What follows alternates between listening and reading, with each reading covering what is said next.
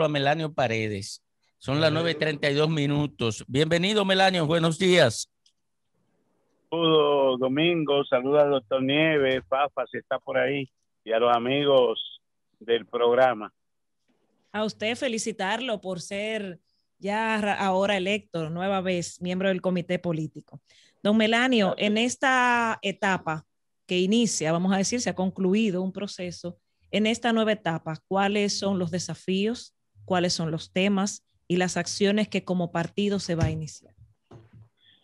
Eh, nosotros eh, pusimos como lema del Congreso que íbamos hacia la transformación necesaria, que implica renovación, implica cambios, implica reconectar con, con valores, con principios, y justamente que esa, esa, esa reconducción que tenemos que hacer del partido no eh, lesione la identidad histórica que de la fundación identificó al Partido de Liberación Dominicana.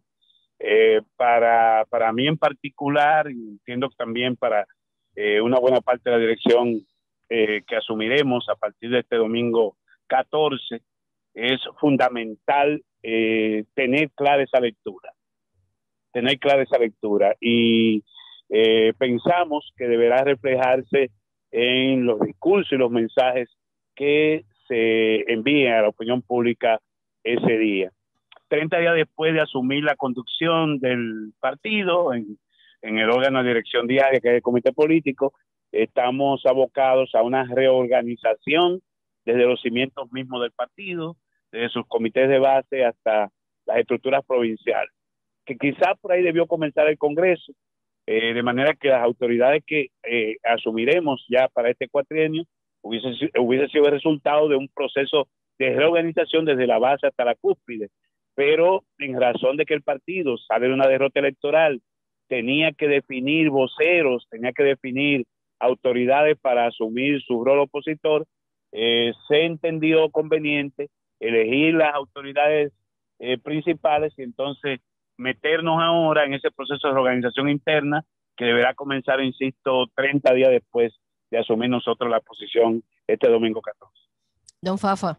Mira, tu partido de la Liberación Dominicana ha expresado su apoyo a las tres causales, que ahora se han puesto sobre el tapete cuando en el Congreso se ha rendido un informe que las excluye en la modificación del Código Penal. Yo he criticado esa actitud sumisa y responsable del Congreso y quiero saber cuál es tu punto de vista sobre ese problema de las tres causales. Melanio Paredes, en términos de valores, principios, eh, que creo en la ciencia, entiendo que tienen que mantenerse las tres causales y que de ninguna manera deben tramparse a los sectores que han estado abogando por ella. Eh, de, alguna forma admitiendo chantaje de sectores que, mantienen una posición fundamentalista sobre el tema, eh, hablando de una ley especial mientras se aprueba el Código Penal. Yo pienso que cualquier iniciativa tendría que ser simultánea o aprobar en principio esa ley especial y que entonces el Código Penal pueda abordarse ya de manera integral con todos los elementos, porque también es fundamental que tengamos ese Código Penal en razón de que hay unos ilícitos penales, como dicen los abogados, colegas del doctor Nieves, que son nuevos y que implicaría cúmulo de pena, implicaría el abordamiento de, de otras modalidades de sanción y naturalmente entendemos que esto es escurrir el bulto. El sacar las tres causales del código para supuestamente aprobarlo después es una trampa que entiendo tiene que ser denunciada. En nuestro caso, nuestros legisladores tienen que ser coherentes con lo que nosotros defendimos desde la propia gestión del presidente Medina, que pudo desafiar a los poderes fácticos, los sectores que eh, pedían lo contrario. Sin embargo, se mantuvo esa actitud y yo entiendo que mi partido como tal debe seguir asumiendo esa posición. Bien, conversamos con Melanio Paredes, político, economista, exministro de Educación, miembro de la Comisión Política del Partido de la Liberación Dominicana. Y justamente, Melanio, en esa condición quisiera preguntarte, el gobierno del Partido Revolucionario Moderno arriba a sus primeros siete meses dentro de cinco días. ¿Qué visión tienes tú de la gestión que se ha llevado a cabo? Sobre todo, partiendo de que en algún momento has dicho que esta administración pretende acorralar al PLD? La oposición a todo gobierno tiene que ser una oposición de calidad. Incluso cuando la oposición no es de calidad, eh, generalmente los gobiernos eh, derivan en, en, gobiernos mediocres, en gobiernos que cometen, cometen faltas porque no tienen oposición. Yo creo que de alguna manera eh, algunos de los errores que cometimos en, en los últimas, las últimas gestiones del Partido de Liberación Dominicana tiene que ver con una oposición que antes de que el presidente Medina abriera la, boca en el Congreso ya decían que, que ese era un mundo extraterrestre, que eso se apartaba de la realidad. No, yo pienso que la oposición tiene primero que reconocer lo que son aspectos eh, positivos en la gestión de gobierno, porque eso le, eso le merece toda la autoridad cuando critiquen aquellos aspectos que se pueden entender perniciosos o negativos. Comienzo por decir que la gestión de un sector que ha sido mi pasión toda la vida y que yo conozco, la gestión de educación del gobierno del, presidente Abinader, hay que reconocer que tuvo un acierto. El poder mantener el ciclo escolar más allá de los inconvenientes, de la propia improvisación, que es uno de los enemigos que, eh, eh, mortales y letales en materia educativa, pero el poder mantener a los niños, niñas, adolescentes en lo que tenían que estar, es decir, en su educación, es un acierto.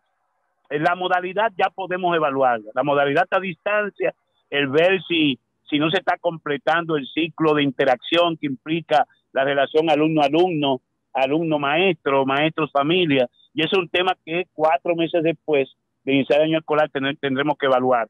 Pero fue un acierto el poder mantener el ciclo escolar y no cerrar definitivamente las escuelas el tema de la pandemia, eh, muchas de las medidas que adoptó el gobierno del presidente Abinader es la continuación, la continuación de una gestión eficiente que se hizo en la gestión de Medina, que no siempre se reconoció, pero que entiendo que el gobierno lo ha mantenido, salvo unos picos que se pudieron dar en diciembre, que fue producto de algún nivel de descuido. Yo pienso que se ha hecho un manejo adecuado de la pandemia y que el gobierno ha respondido a las exigencias que se planteó desde el inicio de acudir en auxilio de los sectores más vulnerables, trabajadores que habían perdido los empleos y el poder mantener los programas de asistencia. Eso también entendemos como un aspecto positivo. En términos de la imagen, yo entiendo que cada imputación que se le ha hecho al gobierno, como el tema de meterle de contrabando unos, unos impuestos, las denuncias contra funcionarios como la ministra de la Juventud, el director del IAD y finalmente el de Salud Pública. Y el hecho de que el presidente haya pedido la renuncia o lo haya eh, sacado del cargo es un buen indicio de que el gobierno, de que el gobierno en esa materia está actuando conforme su discurso desde la oposición, es decir, que no va a permitir la impunidad. Ahora, la sola destitución de un funcionario que haya cometido errores, y no estoy diciendo que lo hayan hecho, eso debe demostrarse en los tribunales, no puede quedarse en la simple destitución, sino que habría, debería derivar en el sometimiento a la justicia. Porque como se ha dicho, la impunidad es más, es más perversa y es más mala que la corrupción misma.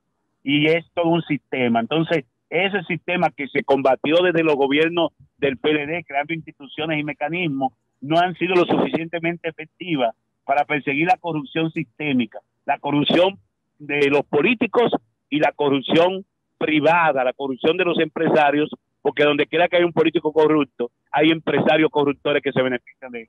Una sociedad colectivamente corrupta. Gracias, Melanio, por participar en este rumbo, el rumbo de la mañana, que también es el rumbo del país. Vámonos, Muy bien, gracias a ustedes.